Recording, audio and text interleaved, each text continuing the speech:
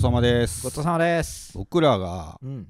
あのいろいろ配信で取り上げてる、まあ、ドラマとか、はい。まあ、オーディションとかね、はいあるじゃないですか、はいまあ、そういろいろこう才能豊かな人たちがうん。エンタメの世界にはうん。たくさんいますよねそうですね。才能ないとやっていけないんじゃないですか。そういう考え方もできるでしょうねその才能ってさ、うんについてちょっとあの考えようと思ったんですけど、うん。そのなんか才能はうんこう、そういういわゆるそういうのでよく聞くのって、うんなんかお前はうん。10年に1人のうん。逸材だおお、言われてみたいね。言われたことないないない。なないえ、ある？の ないねん ないやろあ。でも言ってくれる人もだいぶ。まだないっていう言い方がいいかもしれないまだないまだない。うんあいやそれはまあみんなまだないやろうけど、大体の人が。な、うんそれで言うとまあ俺もまだない。うん、まだないよな、はいはいでもなんかこれって若い時にしか言われないような気もするそうやろうな。うんだからこれ、年いってから言われてるおじさん見たことないよ。おじいさんで、お前は10年に一度の逸材じゃんな。そうか。ありがとう。あの聞かないね。う。そうだねああうん、80年90年生きてるとねああ。それもなんかうん、別になんかも多いのか少ないのかう、わからんもんな。わからんからね。うんそうやな、ん。自分の一生と比べてもうて、うん。10年。はって。はってってなるもんな。そうなんだよな。あまあそれがねうん。例えば、まあ、20歳ぐらいやったらうん。10年に一度の逸材って言われたら、おおとはなるけどな、まあその10代とか、はい、まあ中学校とかね、はいはい。まあ、スポーツ始めたてとやからああ。10年に1人の。あこれはすごい才能だみたいあそうなねやな。それがまあイメージ。10歳やったとしたら うーってなるような、まあまあ余計にこうでもまあ自分は。それってさ相手の立場に立ってあ全く言ってない言葉やと思うんですよね。どうそうですか。嬉しいというのもね。あのそこって感覚的にうん理解できるかあらこれ受け手側がねはい。あ一個おまけして喜んであげてるけど本来で言うたらうん。いやななちゃんと喋ろって言われてもおかしくないことでうん。というのもさうん10年にはい。今日ははいはい。10年にあ1日あるかないかのはい。とても過ごしやすい日々日や。あはいはい。これはうん。分かるじゃないですか、うん。10年間の中であ1日あるかないか、まあ、すごい日や過ごし 過ごしやすい日はうん、人によるから。あかん。じゃあ10年に一度の その10大年に1寒波とか。日のうん。1回の、うん。まあ、寒い日と寒い日とかやったら分かる分かる。台風とか、台風とまあ、だからその単位がさう年で始まったらはい。それはもう期間であったりとかでやるべきやと思うんですよね、それをさ年で始まってあ人数 1人で行くのはあちょっとこうかんずれすぎやなと思っててでああ100年にうん。1人やったらそれはそれで分かるじゃないですか。100人に1人。100人に1人ね。100人に1人のあ逸材。大したこと言われてないね。いやでも意味は分かる。ああ10人に1人でも分かる。大したことないかもしれうん。ないだからその能力はお前学年トップだぞっていう。のと一緒やもんまあそうなんだけどはいはい。だから10年に1人っていうのははいはい。その人の範囲が分からないんですよね。ああ10人に1人に出会出会える。ああ。10年で出会ったのはお前が一番だ。この10はいはい。年ではっていう意味やと思うんですけど単位が分からへんから。これがさまうん。あ例えばそのあれよね10年お前は10年に1人の逸材だ。うん。地球では年間何人もの人間が生まれている。うん。それをかける10してみる。うん。つまりお前は何億人に1人だ。みたいな。ことやったら、うん。えっ、と OK やんな。まあそいつの元には言いたくないけどね。うるさいから。なぜなら。ううるさいけど。そいつの元では学びたくないややけど、まあ、言葉としては正しいよね、うん。だいぶね、うん。その、そういうことだよって噛み砕いて言ったら、ナイスシュー。うんナイスシュートだ。ナイスはいいねという意味。シュートは今お前が取った行動。その行動いいねと思っている俺は。ちょっと来い集合。うるさいってなるよ。タイム。審判タイム。そんなことで使うかとタイムを、まあまあそうですね。それはちょっと。うるさいかあらあそいつの元でやりたくないじゃないですか。だ結局はちょっと間違った単位の、うん。間違ったというかうん。ずれた単位でうん。2個しか数字出てきてないのにその2個ぐらい揃えろやといはいはい。いう感覚はあるんですけどあただまあまあ伝わればいいわとは思ってはいるんですいやまああでも最初に言った人すごくない、その感覚的にえーって言われてる感じはするよねそれ。主観すぎるけどな自分の10年だから相手が何歳かなんかお構いなしやそれ。それこそ90歳でも、あうん、90歳やって嬉しいなんやからこれまあ90歳の人にだから言わないって10年に一人の逸材って。だ言言われても嬉しないっす。よ、ああ言われても嬉しないけど言ってみようかな今度。おじさんに。喜うん。ぶかどうか、もう定年超えてるおじさんに言ってみようかな。あー10年に一人一人の逸材ですよ。な何？そのその綺麗な魚の食べ方 とか。ああまあバカにされてるよね魚の食べ方とかになってまあまあでもそれぐらいになってくるから身近なおじさん褒めるってなると。いいところがないからな。いやいやそんなことないやろうけど。まあまうん。あその特筆して、優ね、しいでいいじゃん。あ？おじさんの優しさはもうあ10年に一人だよ。なるほどね、うん。あ優しい。いやー優しいなおじさん。あんまおじさんに優しくされることないからな。言いづらいけど。優しくせえよ。はいはい。いや優しくされされたいよ お前がおじさんやろそもそも。そうや。お前が優しせい。やいやだからそうやえ、もうね一個とかいやみっこに。優しくしてで言わせろ。あ？言わせろそれ10年に一人だろって。あおじさんの優しさは10年に一人だろ。言わせろってなんやねん。言えって言え。強制するようなもんちゃうやろこれ。この褒め言葉。まあでもそれがだからやっぱりねうん。単位が分かりにくいからうん。ちょっとこうなんだろうな。ちょっとずれてるからそこはちょっと揃えた方がいいんじゃないかと思うんですけどはいはいまあそれはねうん。あのーさておきなんでこんなことになるかっていうのはうん。才能をうん。おそらくこれは揃えることによってうん。考えることをうん。が怖いんだよと思う。うん？考えさせへんようにしてんちゃうかなと思って。ああ10年に一人の逸材って言ってる人を考えさせへんように。だからまあつまりは100人に1人とか、はいはい。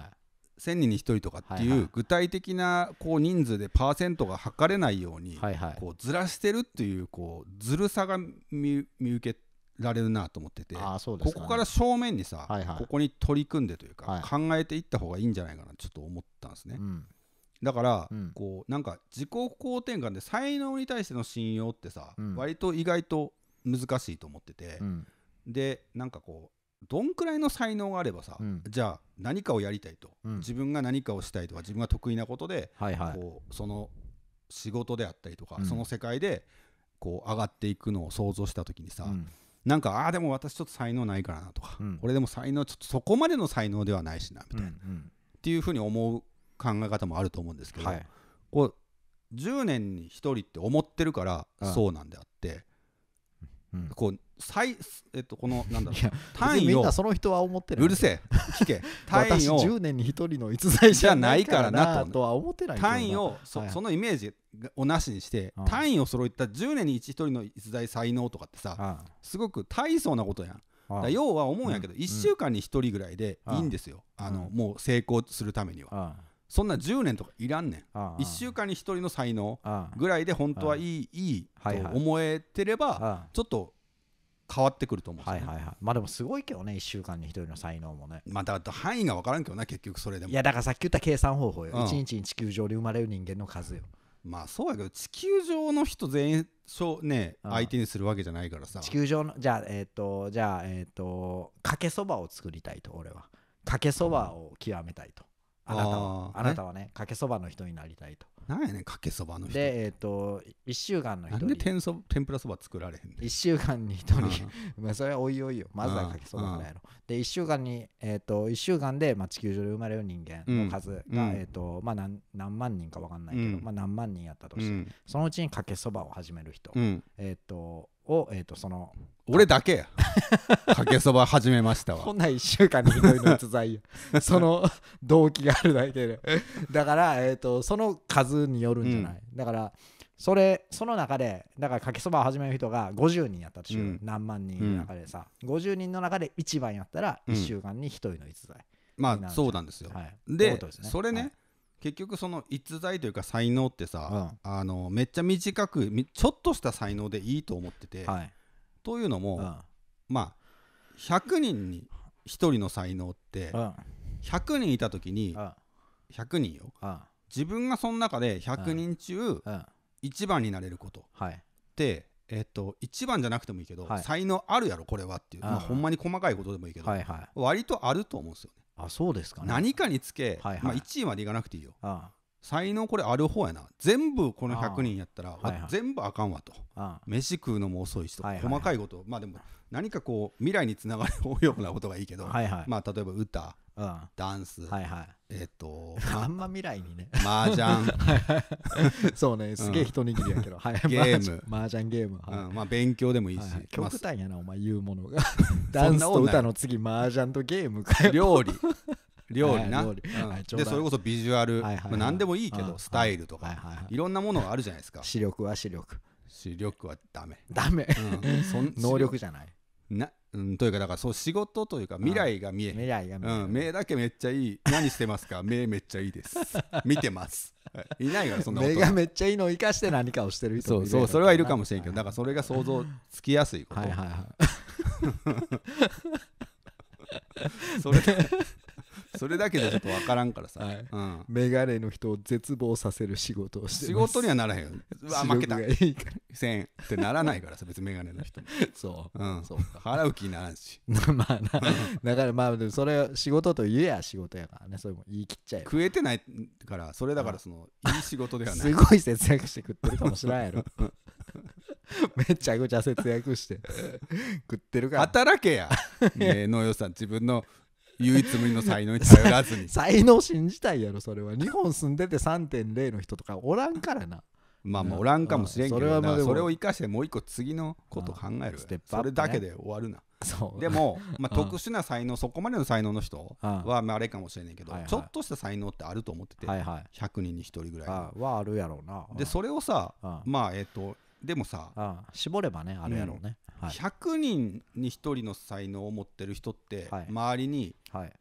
いるような気がするんですよ。自分とかじゃなくても、はい。はい。ああいつだってそれクラス学校行ってたらさうん。一番早いやつなんてもう100人に1人以上になるやん。まあそうです、ね。あじゃ、100人に1人になるような。あまなあだから人以上になるね。なるからさ学年で言うと300人に1人とか200人に1人とか、まあ、学校によるけどさ、はいはい。だからまあそそれはなんかそのいろんなことでうん。周りにもそんな人たちはいるじゃないですか、はいそれで十分な気はしててでそこまでなくてもいいんですよ。はい。でもさあ自分の才能ははい。すげえぞとはいはい。言ってる人って大人であんま見たことないでしょ。あんまないね。こっちの方がめちゃくちゃ珍しいんですよ。花咲かせてる人が多いからね。そうだよね。大人は大体、あ大人で才能が見える人っていうのは。でもそれはさあ。結局そのなんだろうなそれを信じる力とかあ才能をうん。自分の才能で行くであって言ってる人自体があ割と少ないから、じゃあそれを100人に1人としましょう、はい。えっ、と才能を持ってることを信じれる人は、はい。ってことはもう100人に1人の才能は誰でも持ってると。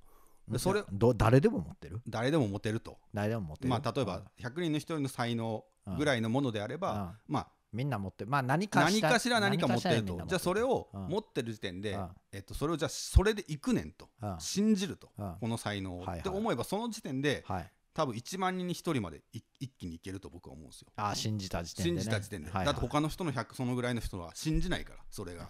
すごい才能と。はいはい。100人はみんな信じてないってことねそうそうそう。だからその時点でもう1万人に1人まで上がっていくと思ってて、そこまでいくかね。いくねんでもこれは。100人に1人ってさ、うん。学年で1番みたいなもんじゃないですか、うん。大体で言うと、うん。学年で1番の何かを持ってたとしたら、うん。割とこれでいくねんって多分学生の時とか思うまあ大人にな大人になってそれを仕事にするかっていう感覚ですかね、あー。僕が今言ってるの。は何か夢をあ。追いかけるときに必要なというか、あまあまあ。いいか、じゃあまあじゃあ1万まうん。で駆け上がると1万まで。駆けしましょう、いや僕はもっと駆け上がれると思ってるんですよ。いや俺は1000ぐらいやと思うけどいやな僕はもう本当当は10万ぐらいまで行きたいんいですけどまやどうですかね、まあ100ほん万まのほんまで言うと500ぐらいちゃういやいやかなって思ってるいやけどさすがになかなかねそのぐらいの才能であ自分だってさうん。その人たちが集まった時に凡人なわけですよ。うん。要は。あそうやね。だから中学校からうん。高校に上がって、まあ中学校が例えばその推薦でスポーツであの行ったとして高校でめちゃくちゃ強豪校に行ったら、あの補欠やったっていう話とかよく聞きあるじゃますしないですか。ねはい。だからそこを考えるとうんああ自分は才能こじゃあやめようかなって。はいはいやっぱその諦める。はい、特に才能でうん、あこれ才能でええわって思った人ははいはい。あの才能ですぐ諦めちゃうから。ああそういうことね。だかうんら仕事にまでやるぞって将来的なところまで持っていかれ思いいける人は少ないと思うんですよはいはい。うん。信じれる人は。はいはい。でもそれぐらいの才能で全然いけるということを考えるとはい。それでも1万人に1人までいけると僕は思うんですよ。うん。100人に才能ああ。1人の才能。100人に1人以下の才能でもうん。1万ぐらいはいけると。そうなんかな。でうん結局これってはい。人間の中で勝負するのってはい。まあ1億人に日本人が、まあ、1億だとしてもさ、はい。ざっくり。1億とさ、はい。の中で一番になる必要なんてなくてうん。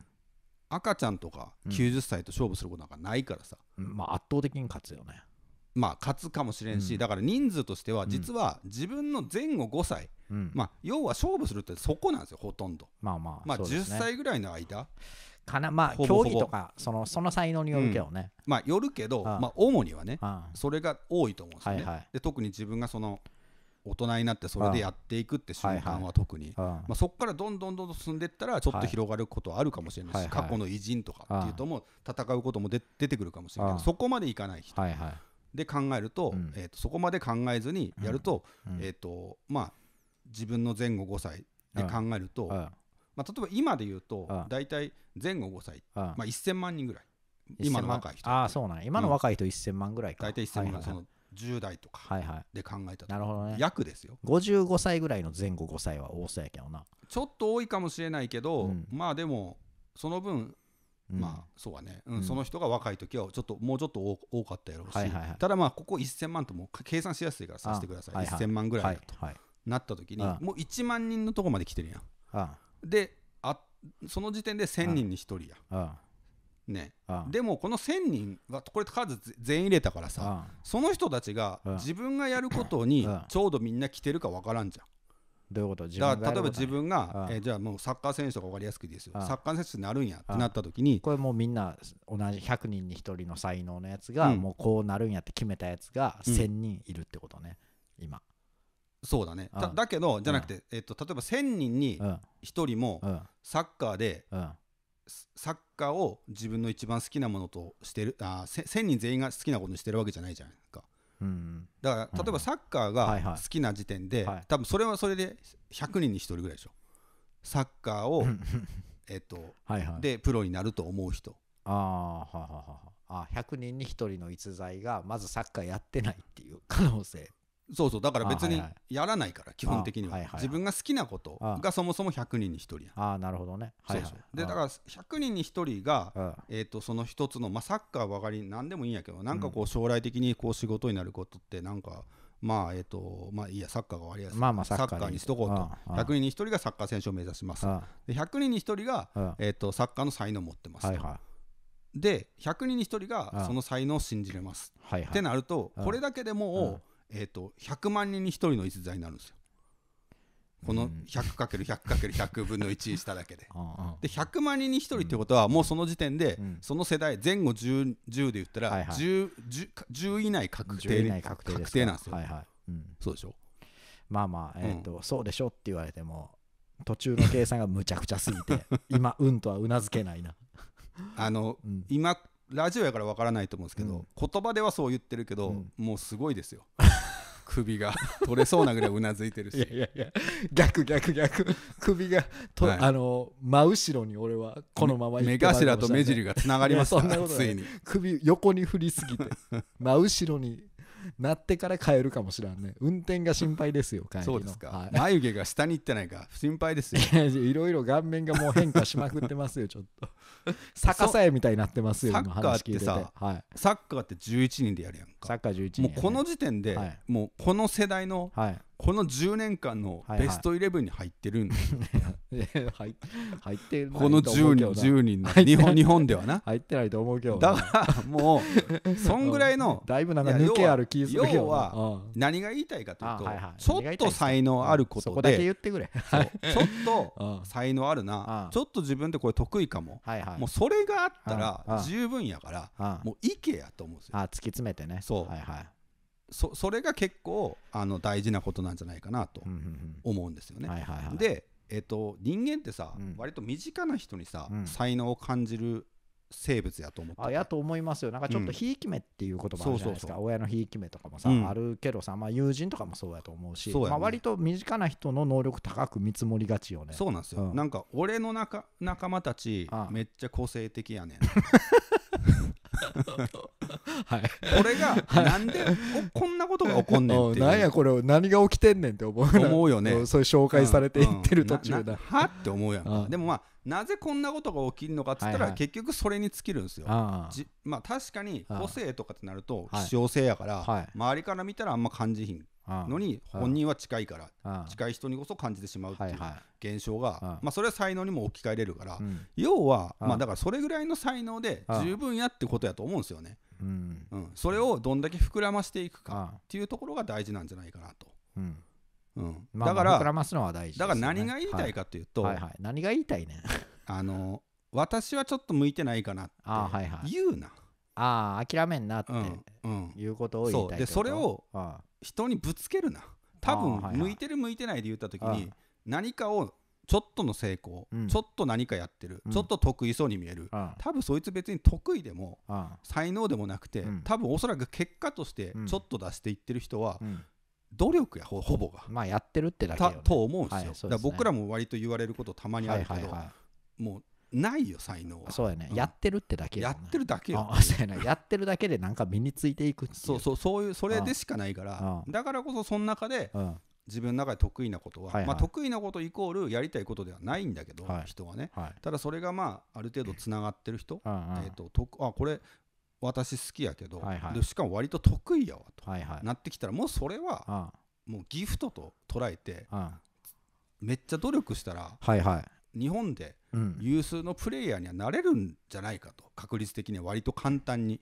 い や簡単にはなれない。よ超簡単。めちゃくちゃ努力いるし。あめちゃくちゃ努力いるよ。めちゃくちゃ努力いるしめちゃくちゃ考えてやらなあかだけどだけどめちゃくちちゃ努力いるし考える考えめちゃ分て努力すもいるやろうしね。いるよ。うん。いるけうん。どじゃなくてだからたどり着かないとこではないってこと。ああそうだね。要そう思うよ。は努力によって絶対にた絶対ほぼ確実にたどり着くとこやと思う。うん。努力によってね。はいはい。努力によってね。そう。だから努力を怠らなければね。そう。だから何かをやらない理由ははいはい。めんどくさい。あえっとそんな努力できへんわ。う根性がない。っていうところに尽きると思うんですよ。はいはい。だから成功するかどうかは。うん。だからほぼほぼ才能ってうん。えっとでそっからのさはいはい。10人に1人あになってからのあ日本で10人に1人のになってからうん。1位になるかどうかはうん。ここ結構めっちゃ才能が重要視してくると思うんですよ。ああ大変。ただそこまで行くのはさはいはい。もう割と努力があ。できるかどうかがめっちゃ大事なんかなとは思いますああまあまあそのそうですね。どれだけその人口によるかですけどね、うん。その人口それを取り組みたい人の人口というのは数によるやろ数によるやろサッカーですそられサッカーをですら サッカーはさ100人に100人に1人の逸材やったら、うん。うん。そいつ多分サッカーやるって大体小学校の時に100人に1人の逸材ぐらいでサッカーうまいって言われてたらそいつは大体サッカーやる。いやでも男の子でしょ？でもさサッカーやるっていでもそれはうんあなた今イメージしてるのうんは多分めっちゃ運動神経いいやつやからサッカーが人気の時代じゃなければうん。他の競技やるかもいやしれないだからサッカーが人気の時代じゃなければね、うん。ただ今サッカーで例えてるし、うん。今今この時代の日本で喋ってるからサッカーやるってそいつは。いやでもすごいよ。ブラジル人やったら絶対やるってさらに。そいつが。まあだけ100%どやってほぼ。目もいいよ。絶対サッカーやるよじゃあ。ですね。余計やるよ。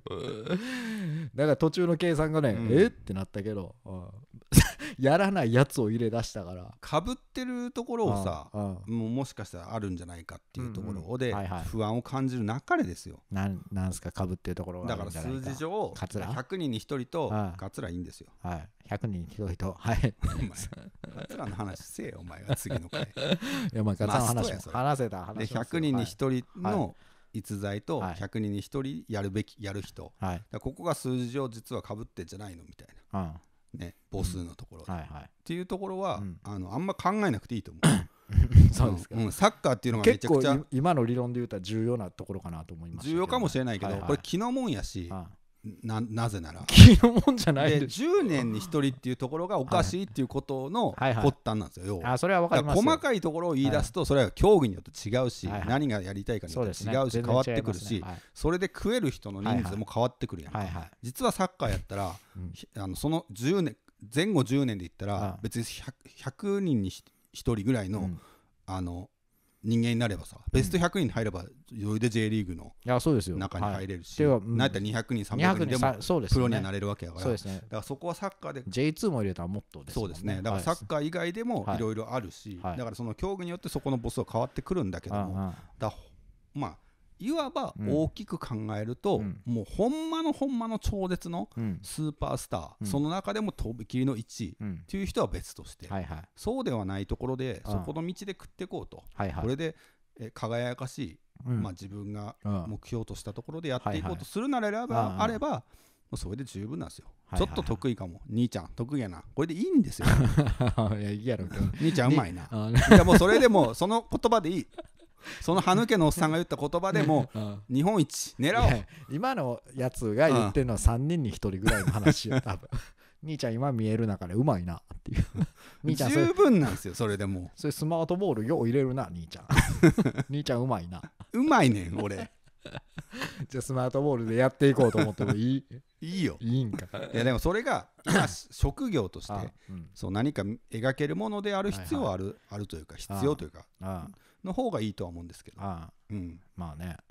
まあまあでも努力の方が大切やったりしますよね。まあでもまあの続けることやること努力。まあ年いけばいくほど思うんですけど、はいはい。まあだから才能よりも努力の方が大事やっていうのはそうですよ、ね、取り組んでる時間の長さがもう全然違うじゃないですか。年いけばいくほど、そうだね。あでえっ、とだからえっ、と、才能があったっていうのは、うん。まあ割とその消えていくというか、うん。才能あって努力しない人っていうのは別にそのことによって、うん。えっと例えば歌が例えば10代の時めちゃうまかったっていうとも、ずっと歌い続けてるそんなに才才能ない人うん。に、まあ、30歳ぐらいになったら、うん。まあ負けてるやろうしっていうところもあるよね。そうん。まあそんなことも分かりますよ。まあ年、年いきゃいくほどですよ、それはね。そうですよね、はい。まあ、かといってめっちゃ苦手なところにさ、うん。チャレンジする必要もないかもしれんけど。そうですね。うん。そうやな。うん、ただまあそのその高さというかさ、うんそうやな。だ苦手なところ行く必要はないけどね。うん、うん。まあね、うん。苦手なところはね、そうやな、100人に1人の逆逸材とかになってくると大変ですもんね。そうだね。あ100人200人の。あ そうやな。100位だ、お前。100人中100位。頑張れ。それがめっちゃねどうしてもやりたいことやったら、はい。まあなかなかそれで1位まで行くのは、大変ですようん。ね。めちゃくちゃ大前後5年まあ変ですね。10年の中の1位まで行くのはだいぶ辛いとは思うけど。そうですね、まあ明らかにね才能ないことでもね、うん。人がサボってる間に努力すればね、えーとまあ、20人中3位ぐらいまではいけますけどね、20人中3位。そうですん自分の部活の経験とかですからね、はいはい。はいっていうとのはありますけど苦手なことだった苦手なことでも人よりちょっと頑張れば頑張っててて、頑張ってれば、まあ人よりね経験を多く積めば、はいはいはい、うんまあまあ3位ぐらいまではいけましたけどね。3, 3年間の間で。そうっす2年ぐらいの間か、うん。ビリやったとしても。はいはいはい。っていうのはありますけどね、まあそうやんな。あ確かにな。うん、まあそう考えるとね。はいはい、まあ仕事で1位を狙うことも、うんまあ全然難しいことじゃないんじゃないかなとは思うんですよあーはいはい。やる気ないやつもおるしな、いっぱいいっな。ぱいおるようんだから結構ごぼう抜きの瞬間もあるからな。そうですねそうですね。頑張ってりゃ。そうなんですよね、はい。そうですね。そう思いますよはい。ということでね、はい、な励誰かの励みになりたかったの？ん？誰かの励みになりたかったの？こういう企画やったっけ？そうだよ、そうなんや。うん、あーいいおじさん。何ん？ん？何にもなりたいよ 何にもなりたい。何にもなりたいみんなの みんなの何にもなりたい。何にもなりたいよ そうか。うんそうだよ靴磨きも？靴磨き、うん、なんだ靴磨きってえ、靴磨きやんか？靴磨きなんて人いないよおい、靴磨き。何何にあなたにとってのあ靴磨きは何ですかってことないやろそんなこ言葉それは内面的な存在ですよ。みんなにとっての。靴磨きは何を例えてるのか分からないし実際に靴を磨く人であればはいはいはい。それはもうあの会話にならん そうですか、うん。はい、まあまあみんなみんなにとっては何になりたいっていう、うんそうかどんな存在になりたいのってことで言うと はいはい。全てになりたいんですよ。そうですか、うん。バナナは？ん。バナナは？バナナ食べたいよ。そうか。うんなんやねん。わからんわ。何言ってるかわからん。お前が分からんわ。今俺の全然わからんわ。答え間違えた顔すな。お前のバナナはっていうのが間違ってんねんそもそも。バナナ食べたいんだってさ。食べたいっていう。いろいろ話したけど結局動画の終わりは。バナナ食べたくなるんだって。うんそうなんかな。ああってことね。ねじゃあいいよ。分かった。ん？あバナナは？いらないよ。今は、なんでこんなさうなんかそのあれなんですか？すごくこう不利なうん。状況にうん。二人してね、追い込まれようという うん。癖があんのあなた。バナナはって言われるとは思わんかった。言われるよ。言われるんやな、うん。まあ言うたら。そうか言い返されることもあるんですね。あるあるからやめやめとけ。わかりましたうん。よ、はい。そうそうはいはい。なるほどね、才能ないからな。うん。いや分かってるようん。それは。過信すなよ。過信してないよ、仲いいというか周りの人間をうん。才能あると思うなよ。俺のことをこいつ個性すごいんだよって思うなよ。いやそれは思うよ。思うなよ。人に紹介するよ。思うなやめろや。個性的なやつがいてさ。事務所来いよ。合わせてあげるよ。また言っとくよ。友達に。友達がいなくなるよ。どっち側からも。うん。限りなくゼロに近いよはい。ということで、はいはい。まあ何かねあもっとまた話すことがあれば、そうっすね。はい。はい。そういうケースを見つけたらね、はいまた話していきたいなとはい思いますので、うん。はい、そうっすね。はい。コメントも皆さんからのケースお待ちしております。あのこうん。結構ね、はい。この「ダサいラジオ」というはいはい。企画が多分2年ぐらいやってなかったのかな、あおそらくなんですけど。そうっすね。うん。多分なんか結構メールでねたまにいただくことはああたまにやあってたっくれみたいな、ねはい。うん、ネタを送ってこいああ。それなら。しょはがき職人。はがき職人？このケースどうですかって。うん。それどうやって紹介すんの？ナイナイさんがいただいたケいやいやもう言わないよそれケースを。あゆ自分のもんにすそりゃそうやろ。泥棒やん。じゃあ最後に言うしかない。頭にそれ聞かされる方の身にもなってみや。はいはい、うん。まあ最後にね。最後に言うか概要欄にあの倍何々って。あはいはい。うん。今回実はナイナイさんからいただいたはい。ケースでしたっていうことね、しかないな、はい。はいはい。うん。どっちかが背負って話すのねそれを、そうしかないでしょ。そうか。ん。うん、はいはい。俺の考えたものじゃないんだけどなかなかよ。うん頭で。そうやな、うん。いやだからこれ難しいな。いやだからもうそれは自分が考えたものとして、あうん、まあそうそういうものですから。うん。聞いた後にさ、うん。あの何かでさ、うん。その概要欄で見てさ、うん。えこいつ考えてなかったっていうのもなかなかよ。きっかけだけやん。なかなきかよっかけだけやそれは。そっから考えるこの尺考えるのは努力でしかない。ああいやまあわかるけどさ、それさ。いやそれでも聞いた後びっくりするけどな。なかなかやって思うけどねそれも、そいつはうん、ダメだ、そうか、うん、そんなことでうん、人を言っちゃダメだ。人を言うやろそんなこと。人を言うな。人を言うよ人を言うな。人に厳しいのはダメだ。そうですか、うん。まあまあ人を言うと思うけどなそれは。人を言わない。人を言うこのチャンネルは人を言わないんいや人言う人もいるよそれは。中には言わないでよ。全然言うと思うけどねエンタメ局そうかなの視聴者の中には。うん、いやそれ視聴者の中にはいるかもしれんけどうん。わざわざこのよくわからないうん。あの動画を開く人の中にはいない。よ、まあいい人多いからね、うん。結構ね。そうそうでしょ、はい、うん。ずはいはい聞いてくれてる人ね。はい。はい。なんやね 終われ。よ 終わ終わろうぜ。んはい。ということでね、はいはい。またまた次のうん。ケースでうん。お会いしましょう。はい。ごちそうさまでした。ごちそうさまでした